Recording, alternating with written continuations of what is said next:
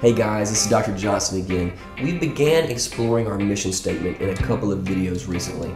To recap, our mission statement is Relief Plus exists to provide exceptional health services to those who experience pain in a caring, sincere, and family oriented environment, helping them to be educated and empowered throughout the relief process. Today, I want to focus on the second part of this statement a caring, sincere, and family oriented environment. One of the first things that new patients usually remark on when they walk into our clinic is how homey the office feels. Our goal is to put patients at ease and to be comfortable, and that's why we don't look like a normal whitewashed doctor's office. As far as the way we run our business, we treat everyone that walks into our clinic as family. We tell stories, we laugh with them, we pray with them, and sometimes we even cry with them.